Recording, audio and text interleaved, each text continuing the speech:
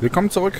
Eben gerade sage ich noch in der letzten Folge, ich habe meinen Rechner aufgesetzt, damit das hier besser funktioniert. Und jetzt eben gerade habe ich diesen Abstand schon mal gespielt, denn äh, mir ist plötzlich mein Rechner mit einem Bluescreen abgeschmiert. Und ich weiß da in dem Fall allerdings auch warum, weil ich hier an dem blöden Kabel rangekommen bin und dann geht da mal eine Stromspitze durch, die das ganze System lahmlegt ähm, von dem Mikrofon. Das ist eher schlecht, aber ich bin hier in diesen, in diesen Raum rein. Hier saß eben gerade noch die Sekretärin, habe die äh, Schränke ein bisschen leer geräumt. Oh, und theoretisch könnte man hier rüber in das Zimmer noch rein. Ich will keinen und Ärger. Hier gibt es noch einen anderen Eingang da rein. Aber wo wir hinwollen, das ist das hier. Nämlich in die äh, Adam, wie läuft's? Probleme beim Deponieren? Geduld, Alex. Ich brauche erst Zugang zum Motherboard, ohne meine Tarnung aufzugeben. Tut mir leid. Nachricht erhalten. Genau, das ist jetzt schon das zweite Mal, dass ich hier runterfahre auf dem Speicherstand. Denn beim ersten Mal sagt sie noch irgendwas von wegen was. Äh, gehst da jetzt schon hin? Ähm, und dann reden sie halt noch kurz über diesen, diesen Chip, den wir der ähm, zum Ausspionieren der TF-29 ähm, implantieren sollen in die Anlage. Und dann ist man hier in der Zentrale der Task Force 29. Man kann hier so ein bisschen sich umschauen. Was ich schon gemacht habe, ist äh, hier hinten in der Waffenkammer ähm, die Mails zu checken von der Aria. Die ist hier die... Ach nee, das habe ich... Ah, nee, das, ich habe jetzt den Speicherstand. Aria Argento. Das ist hier die äh, Dame, die für die Waffen zuständig ist.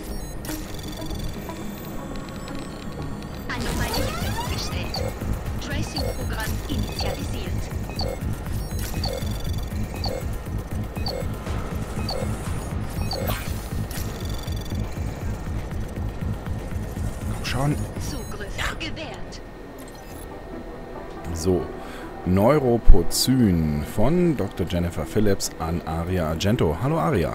Die Lieferung ist endlich eingetroffen. Ich muss weg, bevor Ihre Schicht zu Ende ist, also hinterlasse ich Ihnen, was Sie brauchen, bevor ich gehe. Füllen Sie bitte die Dosierungsberichte auf meinem Computer aus, bevor Sie das Medikament mitnehmen.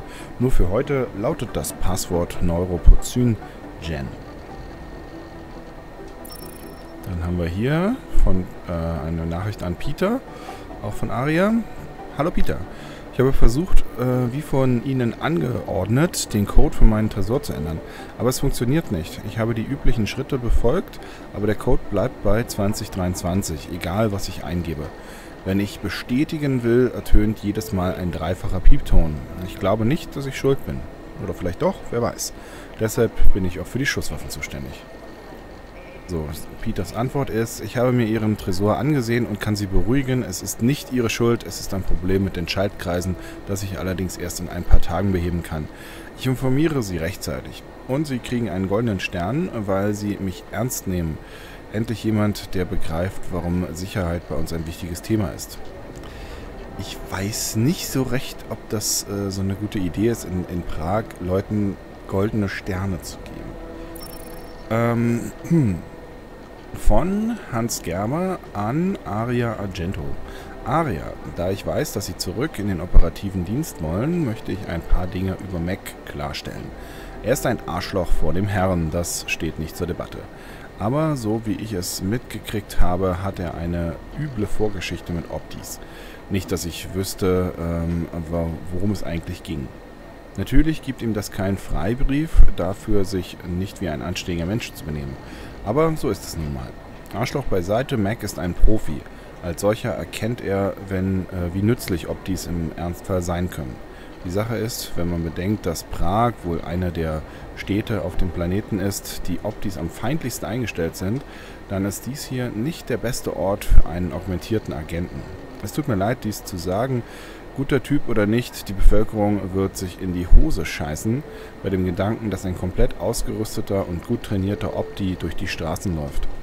Aber wenn Sie mich fragen, dann ist sein größtes Problem Jensen.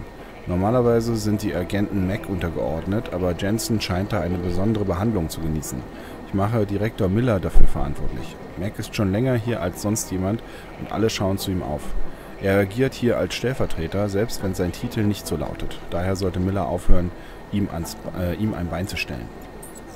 Und jetzt haben wir ja auch noch den Code, ne? Wollen wir das nicht hacken? Genau. 2023. Ah, das war zu schnell. Give me, give me, give me. Don't mind if I do. In das Ding hier bin ich nicht reingekommen, deshalb lasse ich das jetzt mal. Was ich noch mitnehmen kann, ist hier der Zeug aus dem Waffenschrank.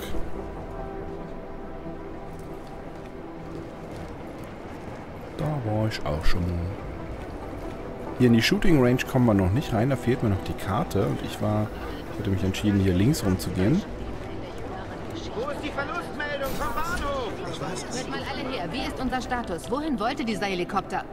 Ich habe drei vielversprechende Flugfelder in Katar, aber sie sind in Privatbesitz und man kommt nicht nah genug ran, um sie sich anzusehen. Mein Blut besteht wahrscheinlich gerade ich zu 60 Prozent aus Koffein. Jede verdammte Spur, die wir verfolgen, führt zu verlassenen, niedergebrannten oder zerbombten Gebäuden. Mein Gott!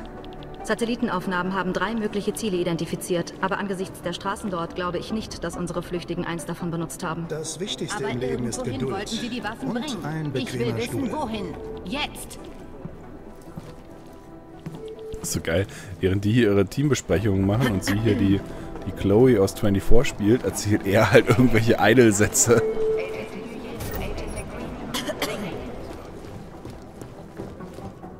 Ich kann jetzt nicht mit Ihnen reden, ich habe zu tun. Du stehst doch nur dumm rum. So, hier war ich auch noch drin gewesen, in der IT-Abteilung. Hatte da... Gestern Nacht hat wieder jemand versucht, unsere Firewall zu knacken.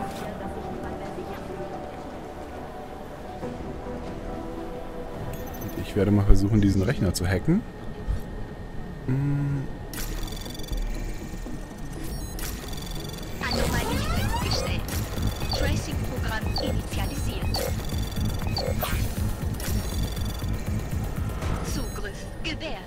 Na, immerhin hat das funktioniert. Ähm, NSN-Serverraum von Peter Cheng an Jan Guy Cloutier. Äh, JG, JGC. Der neue Code ist aktiv. Ich habe Selina um Überprüfung gebeten, äh, ob mit der Lava Wall auch alles okay ist. Sie wird sie also bald besuchen. Oh, ist die Lava Wall die äh, Zukunft der Firewall oder was? Und noch ein kleiner Rat. Wenn Jim dort mit Mandalay gesprochen hat, geben, äh, gehen Sie ihm danach aus dem Weg und fragen Sie ihn nicht nach seinem Privatleben außer Sie wollen, dass er Sie durch den Wolf dreht und Sie sich dann für den Rest des Tages total beschissen fühlen. Cheng. Äh, auch wieder an den Cloutier. Äh, das ist Wahnsinn. In der letzten Woche gab es vier Versuche, unsere Firewall zu überwinden. Ja, unsere Firewall, aber nicht die Lava Wall oder wie? Mindestens zwei davon gehen mit Sicherheit auf das Konto des Kollektivs. Und die Mitarbeiter hier nehmen angesichts dessen, was sonst noch alles passiert, die Sicherheit nicht ernst genug. Sie begreifen nicht, dass Terroristen nicht bloß Gebäude in die Luft sprengen. Also muss ich für eine Weile den Bösen spielen. Neue Sicherheitsprotokolle, Änderungen sämtlicher Codes. Es reden sowieso alle schlecht über mich, dann kann ich ihnen auch äh, einen Grund dazu geben. Wieder an den. Ich habe ihre gesamte Dokumentation über das NSN, Avatare und VR, Hacken, Kommunikation und so weiter auf den NSN-Computer verschoben und den Zugangscode geändert. So, da ist der Zugangscode. Diese Nachricht wurde automatisch erstellt. Tür, äh, Tastencodefeld. Ah, das sind aber lauter, lauter Codes. Warte mal, kann man das hier eingeben? Das ist auch geil, dass im Zimmer daneben dann auch die, die Mail ist mit dem Türcode. Das ist alles vorbildliche Sicherheitsmaßnahmen hier. Als ich das letztens gespielt habe, bin ich nämlich hier durch diesen Lüftungsschacht reingegangen. Das ginge auch. Man kann hier hinten an der Treppe entlang. Ich weiß nicht, ob es dafür nochmal Punkte gibt. Nee. Aber hier hinten geht es auch. Aber da ist noch ein Laptop in diesem... Oder, ja doch, ich glaube ein Laptop oder Terminal ist hier auf jeden Fall noch drin. Und ich müsste jetzt auch das Passwort haben, oder? Nee, das war nochmal ein anderes Passwort. Wir versuchen es mal mit dem Hacken.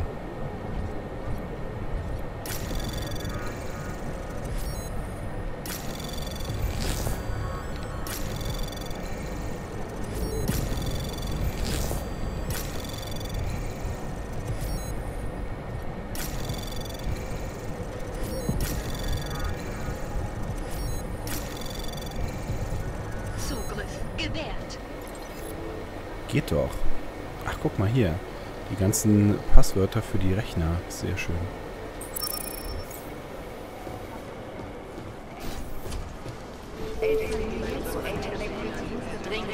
Das ist doch sehr vorteilhaft. Können wir mal schauen, welche, welche Terminals wir damit jetzt tatsächlich zugreifen können. Das war mit dem hier zum Beispiel. Habe ich da ein Passwort? Nee, habe ich nicht, aber ich kann mal versuchen, das zu hacken.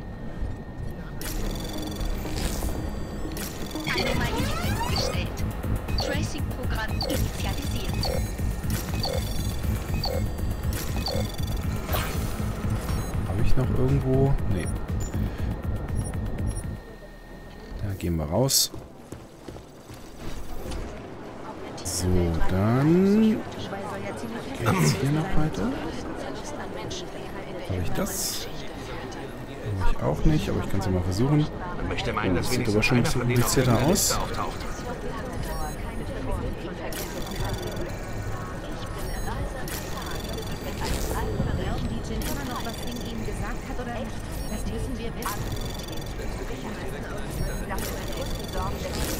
Das ist echt schräg.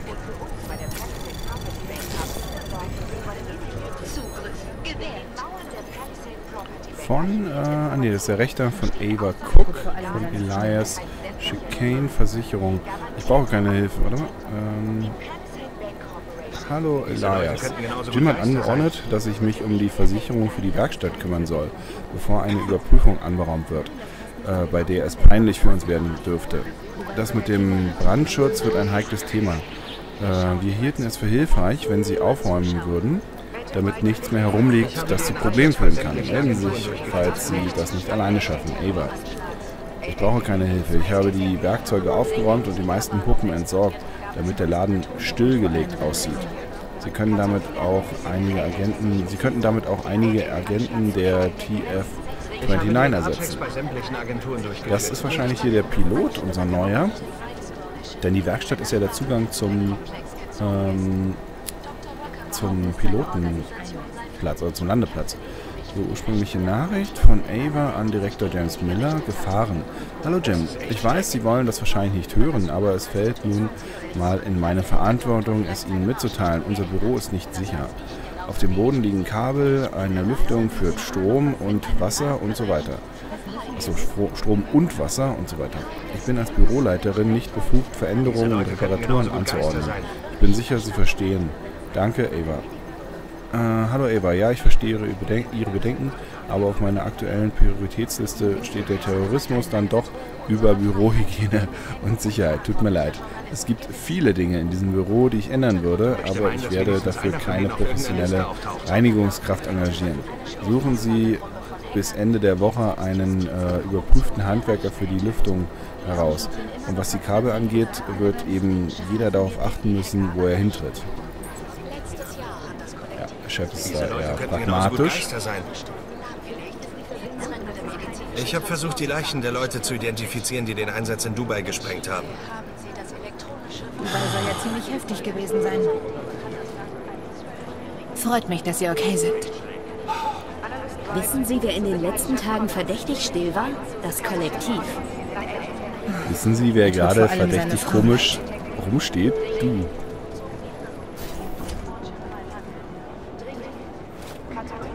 Erstmal Geld mitnehmen. Glaube, das hier ist das Zimmer von der Psychologin. Wir haben hier eine Psychologin für den ganzen Bereich. Und Delara, genau. Jetzt hatte ich mal irgendwo was über die gelesen. Und es ist sicherlich immer eine gute Idee, die, den Privatrechner von einer Psychologin, einer Firmenpsychologin zu hacken. So. Das ist auch gar nicht so ohne. Das ist Level 5. Schauen wir doch mal. Wenn nicht, könnte ich hier nochmal Multitool benutzen. Oh, das wird aber, da dauert die Verstärkung ewig. Ist denn der einzige Sicherheitspunkt? Na, schauen wir mal. Auf jeden Fall die einzige Richtung, in die es geht.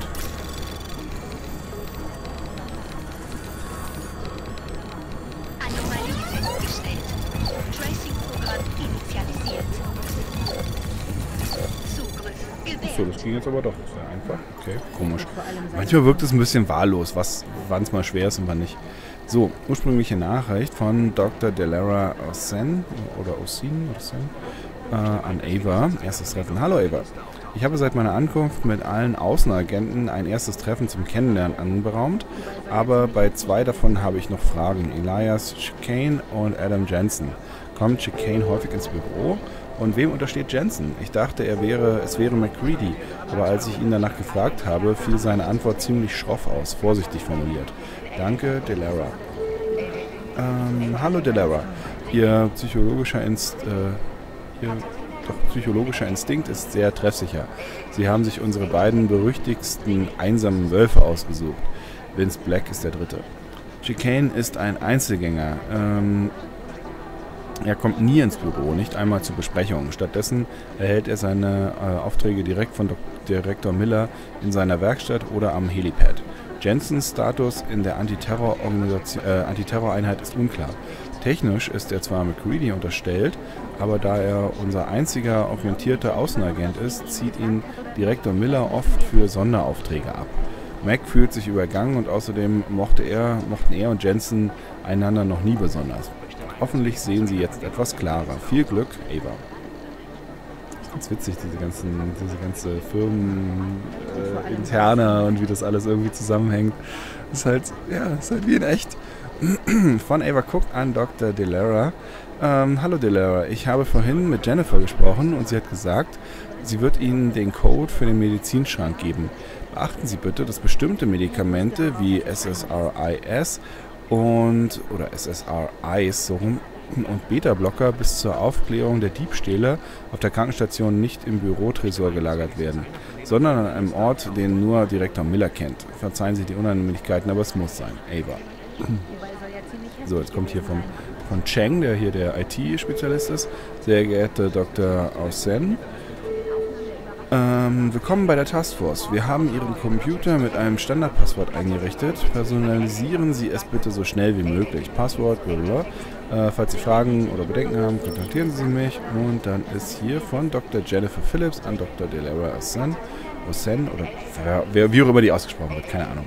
Äh, sehr geehrte Frau Doktor, willkommen bei der Taskforce 29. Es ist schön, dass Sie sich von nun an äh, mit mir um einige der einzigartigen Persönlichkeiten kümmern werden, die wir hier haben. Ich freue mich wirklich auf unsere Zusammenarbeit. Ich muss Ihnen einiges erklären, was die Krankenstation und den Zugriff auf Medikamente und Vorräte angeht. Besuchen Sie mich, sobald Sie sich eingerichtet haben, dann trinken wir zusammen einen Kaffee. Oh, ich habe einen Praxispunkt zur Verfügung. Schauen wir doch mal, was könnten wir den denn integrieren? Wir hätten jetzt hier noch die Steuerung für Geschütze und dann später für Roboter. Brauchen wir jetzt vielleicht an der Stelle noch nicht. Vielleicht sollte ich das Hacken verstärken noch nehmen. Den Hacken brauche ich halt schon immer mal wieder. Das habe ich alles. Was ist das jetzt hier noch? Das ist Blitzunterdrückung. Ach, das brauche ich nicht. Das ist, dass man nicht geblendet wird, aber mein Gott. Radar benutze ich ja nicht. Ähm, lasse ich mir nicht anzeigen. Entschuldigung. Was haben wir hier noch? Hier haben wir äh, geräuschlose Fortbewegung bei Gehen und Laufen. Da muss man halt nicht mehr schleichen. Das würde einen Praxispunkt kosten. Brauche ich jetzt, glaube ich, aber noch nicht. Dann haben wir das mit dem Icarus Landesystem. Entschuldigung, irgendwie habe ich jetzt einen Kloß im Hals. Icarus Landesystem kostet allerdings zwei Praxispunkte. Würde ich jetzt auch noch nicht unbedingt brauchen. Äh, Quicksilver Reflex Booster, was machen die denn? Da braucht man auch zwei Punkte für. Ich glaube, das sind alles so Kampfdinger, die brauche ich jetzt noch nicht wirklich. Das Tarnding wäre später mal irgendwie was Spannendes. Aber ich glaube jetzt für die Anfangsphase alles nicht so wild. Dann haben wir hier die grundsätzlich ein bisschen Gesundheitssachen und so. Da würde ich aber vielleicht jetzt sogar eher in die, in die Dings gehen, oder? In die Batterie? Oder gehe ich erstmal praktisch noch in die... Ah, schwierig. In das Hacken. Batterie werden halt so ein paar grundlegende Sachen, die man verbessern könnte. Aber weißt du was? Ich bleibe jetzt erstmal noch kurz beim Hacken, damit wir das irgendwie äh, vollständig haben. Hier diese LIDAR-Markierung, die brauche ich auch nicht, weil ich die auch nicht benutze. Zumindest noch nicht. Vielleicht später irgendwann mal, aber erstmal noch nicht. Ich würde sagen, pass auf, wir holen uns das jetzt hier. Zack. Ist die Verstärkung ein bisschen besser. Hat man bessere Chancen beim Hacken. Das kann ja, kann ja nicht schaden. So, hier ist Forensic. Dr. Daniel Fletcher sitzt hier. Beziehungsweise Doktor ist gar nicht äh, dran an seinem Titel. Obwohl ich glaube... Verdammt. Ähm, ich glaube, er ist ein Doktor. Ich glaube, er hat irgendwie einen Doktortitel, denn hier um die Ecke ist noch sein Büro. Und da kann man hier mal den Computer hacken. Genau, hier ist nämlich dann Doktor. Ich doch sagen, irgendwie kam mir das doch bekannt vor.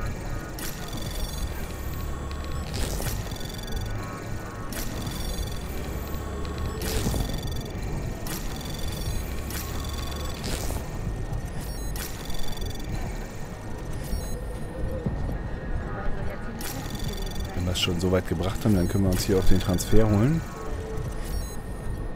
Danke. Und zack. Die lange böse Weile von einem Verlagshaus. Sehr geehrter Mr. Fletcher, wir bedanken uns für die Zusendung Ihres Kriminalromans Die lange böse Weile. Ihr Stil ist interessant, wenn auch etwas grob, aber der Inhalt entspricht überhaupt nicht unserem Portfolio. Und ganz ehrlich, äh, wir halten einige der beschriebenen Situationen nicht im geringsten für plausibel. Wir verzichten daher zum jetzigen Zeitpunkt auf weiteren Kontakt. Äh, Rozika Bahnhof von Debbie an Daniel. Hallo Smiley, einer meiner Freunde bei der Staatspolizei hat ein Gerücht über sie gehört. Ich denke, sie wissen, welches ich meine. Ich werde es für mich behalten, weil mich ihr Privatleben nichts angeht. Aber wenn die Beziehungen zwischen uns und der Polizei wegen ihnen noch schlechter werden, muss ich Miller informieren. Fra äh, falls Sie Fragen haben, können Sie mich gerne besuchen, Debbie. Äh, hallo Sonja, noch frei fürs Mittagessen. Ich arbeite zwar gerade an einem großen Fall, aber für die Englischstunde habe ich immer Zeit. Ich warte, Smiley. Hallo Smiley, ja, äh, natürlich bin ich noch frei. Wir treffen uns dort, Sonja. Mhm, was hat er denn für ein düsteres Geheimnis?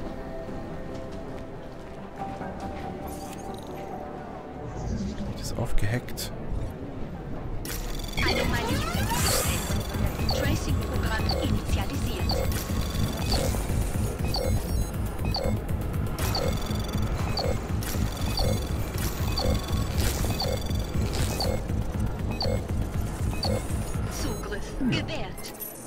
Funktioniert.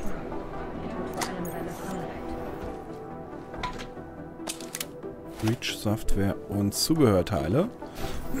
Dann haben wir die Forensik jetzt auch leer geräumt. Jetzt hier das ist die Damentoilette, da gehen wir nicht rein. Wissen wir ja aus Deus Ex 1. Auf die Damentoilette geht man nicht, sonst kriegt man Anschluss vom Chef. Das kommt gar nicht gut. Was haben wir hier? Kurz gucken. Ach genau, tatsächlich. Also man sehe die Einsammelobjekte schon. Auch jetzt durch die Sicht. Da war ich mir nicht ganz sicher, ob ich das schon aktiv habe oder nicht. Aber doch, ähm, es ist aktiv. Ich habe nur nicht so wahnsinnig viel Batterie. Aber immerhin so diese, diese Grundbatterie lädt sich ja wieder auf. Das ist ganz nützlich. Habe ich hier noch irgendwas, wo man durchbrechen kann oder so? Nö. Aber hier lag, glaube ich, gerade was auf dem Boden oder so. War hier nicht was? Hier liegt was. Ach so, eine Zeitung. Schön. Geil, wenn dann diese Zeitungen halt so richtig Technologie sind, also so Pads sind und die trotzdem einfach irgendwo hingeschmissen werden. Wunderbar. So, hier ist die Krankenstation ist denn Frau Doktor? Ist der Doktor in? War hier irgendwas? Nö. Was ist er? Es gibt irgendwo in dieser Stadt in der Kanalisation ein Mafia-Casino. Jetzt habe ich wirklich alles gehört. ja, kannst du ja wieder hinlegen. noch was zu erzählen? Stellen Sie sich vor, Sie sind Leutnant einer Mafia-Familie und Ihr Boss schickt Sie in die Kanalisation. Da wären Sie doch mächtig sauer, oder? Stellen Sie sich vor, Sie sind Leutnant einer Mafia-Familie und Ihr Boss schickt Sie in die Kanalisation. Da wären Sie doch mächtig sauer, oder? Ah, ist durchaus was dran. Hier saß aber bei dem Collar oder Collar, ähm, bei dem sah es aber ein bisschen äh, zugemühlter aus. Der hatte aber auch mehr Arme darum liegen. Ist also rumhängen, die hingen ja bei dem. Decken. Ist der Koller? Der Typ, von dem wir unsere Augmentierung bekommen haben, beziehungsweise der die repariert hatte. Der dann auch die anderen gefunden hat.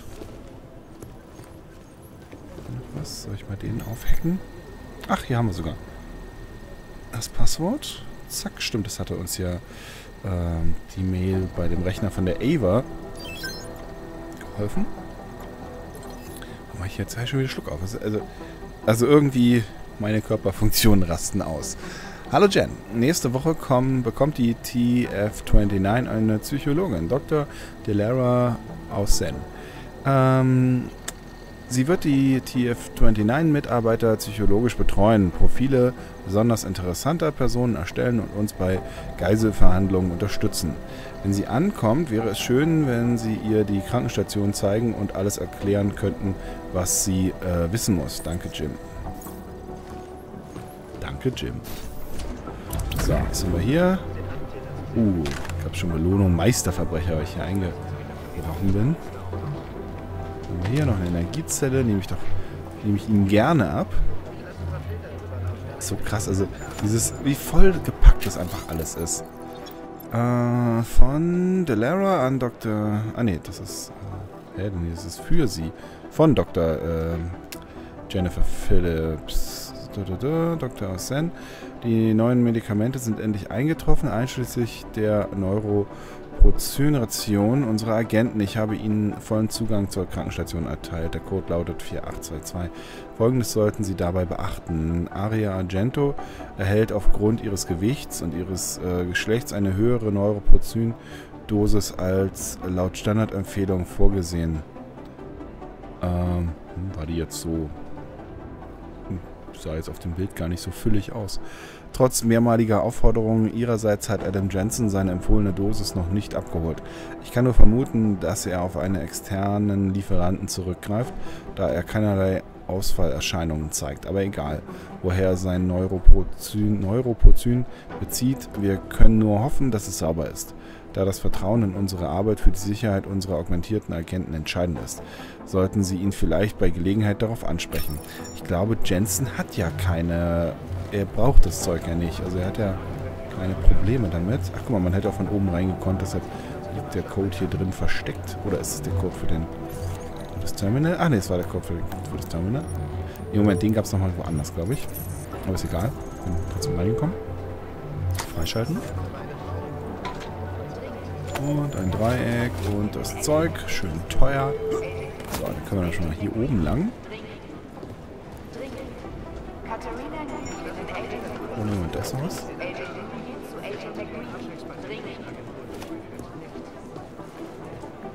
Hör damit.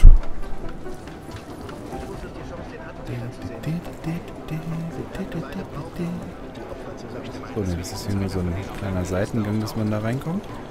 Ich glaube, dann haben wir hier unten aber alles... Ah ne, die Security Cells noch nicht.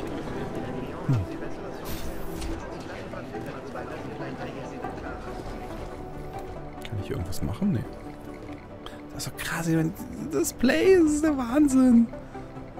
Voll, voll gefüllt. Also es ist alles da.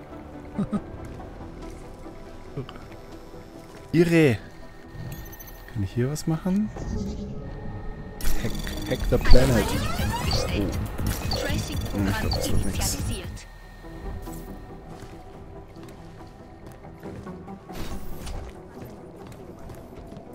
Können wir mal gucken, wer hier im Knast sitzt.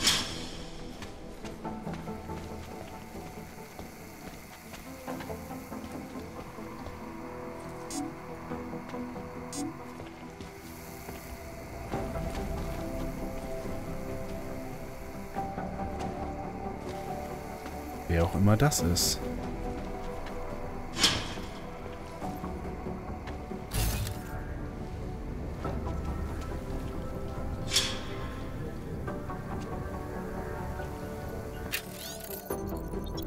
UN-Resolution 3507-2029 der Sicherheitsrat stellt fest, dass die Trennung und Diskriminierung von augmentierten Menschen sowie Konflikte im Zusammenhang mit deren Status eine klare und anhaltende Gefahr für den Frieden und die Stabilität auf der Welt darstellen, unterstreicht die Bedeutung, die er dem Respekt vor Menschenrechten und Grundfreiheiten für alle, unabhängig von Augmentierungen, beimisst und lässt im Einklang mit Kapitel 7 der überarbeiteten Charta der Vereinten Nationen daher folgende Resolution. Erstens, die verpflichtende Verwendung des von der Taeyong Medical Corporation entwickelten Dämpfungschips für alle augmentierten Personen wird autorisiert.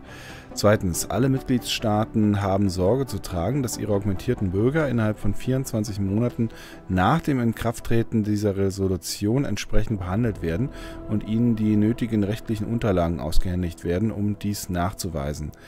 nachzuweisen.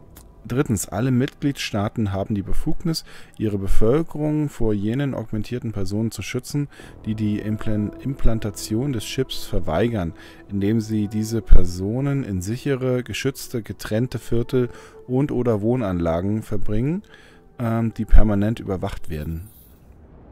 Viertens, die Regierungen der Mitgliedstaaten sind angehalten, derzeitige Gesetze und Vorschriften schrittweise auslaufen zu lassen, die die Rechte augmentierter Personen beschränken, wenn diese die Implantation des Chips nachweisen können. Dies gilt beispielsweise für das Recht der Grenzüberschreitung sowie der Aufnahme einer Arbeit bzw. des Dienstes für nationale oder internationale Organisationen. Die UN-Beobachter sind über diese Prozesse auf dem Laufenden zu halten.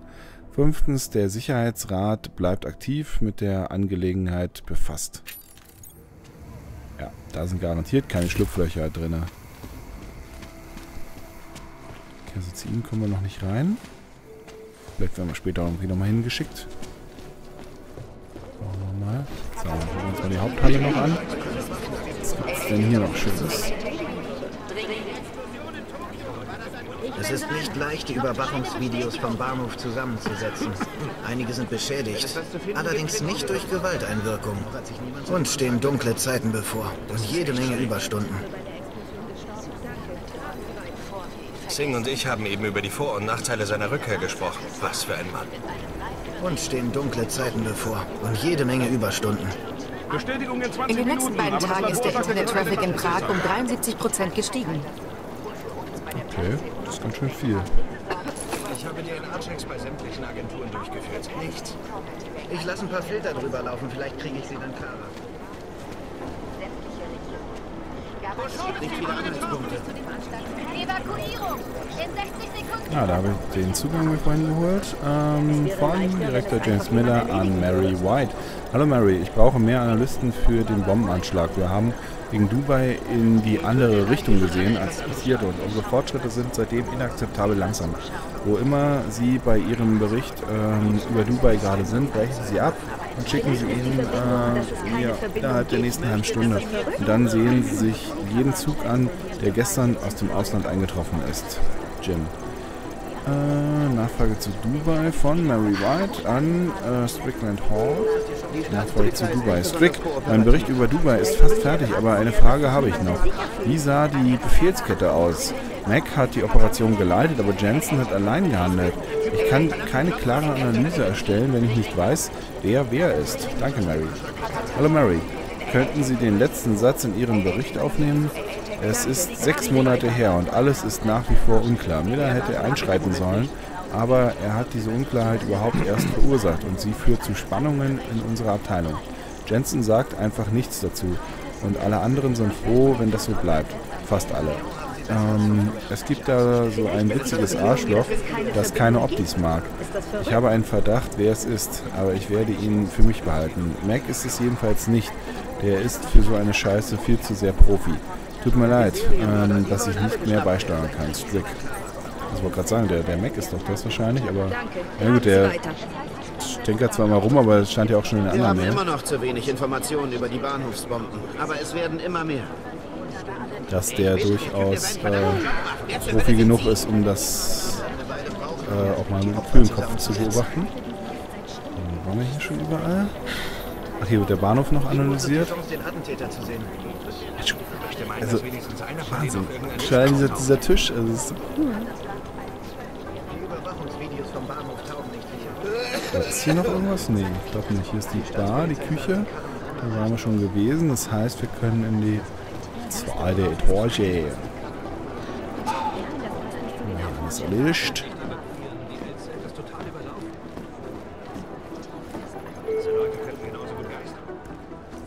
Adam, Sie haben es geschafft. Freut mich, dass Sie okay sind. Hallo Aria, ja, es war ziemlich knapp. Ich hatte Glück, viele andere nicht. Ich habe hier gearbeitet, als die ersten Berichte reinkamen. Chaos, klingelnde Telefone, schreiende Menschen. Alle wollten wissen, was passiert war, als Miller sagte, dass sie dort sind. Ich bin okay. Gut. Suchen Sie ihn? Er hat nämlich gerade zu tun. Konferenz mit Leon, glaube ich. Wirklich?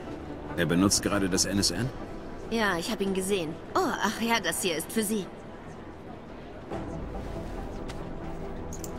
Was ist das? Die Karte für den Schießstand. Cheng hat heute früh alle Codes geändert, weil nur Leute Zugang haben sollen, die er selbst überprüft hat. Der Anschlag hat ihn panisch gemacht. Der dritte in sechs Monaten. Ist das zu fassen? Ich bin wirklich froh, dass Sie okay sind. Danke, Arya. Dann überlasse ich Sie mal wieder Ihre Arbeit. Ja, ich gehe lieber wieder runter. Das wird ein harter Tag. Kommen Sie vorbei, wenn Sie reden wollen. Verstanden. So, dann haben wir auch noch Aria kennengelernt und ich sagen, für die Folge passt es dann erstmal. In der nächsten geht es dann weiter, vielleicht mal auf Schießstand, auf jeden Fall mal zu Miller schauen ähm, und ja, vielleicht auch nochmal mit Aria sprechen. Mal schauen. Ciao.